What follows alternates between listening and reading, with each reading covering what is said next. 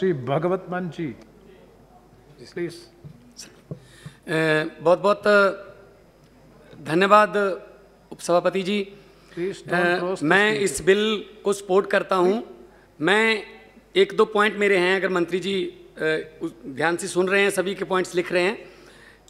मैं चाहता हूँ चाहे 30 परसेंट की जगह हमारी सैलरी 60 परसेंट सत्तर परसेंट काट लो कोई दिक्कत नहीं है। लेकिन पब्लिक का पैसा जो एम पी लैड्स है वो पब्लिक की मनी है। वो पब्लिक का पैसा रोकने का कोई उचित कारण नहीं बनता। जैसा कि मेरे से पहले बोलने वाले कुछ वक्ताओं ने कहा है, हम माइक्रो लेवल पर आप हमें गाइडलाइन जारी कर सकते हैं कि इसके लिए पैसा दो और और कुछ गाइडलाइंस आए एम पी के लिए। लेकिन जो मेरे लोकसभा क्षेत्र के लोगों ने टैक्स का पैसा दिया उसको तो कम से कम वापस मिलना चाहिए लोगों को। और सांसद जो हैं, वो सवाल भी नहीं पूछ सकते। अब किसको कोई ग्रांट भी हम, कोई सेंक्शन नहीं कर सकते। तो किस बात के लिए फिर अ, हमें लोगों ने इत, इतनी उम्मीदें लगाकर चुना?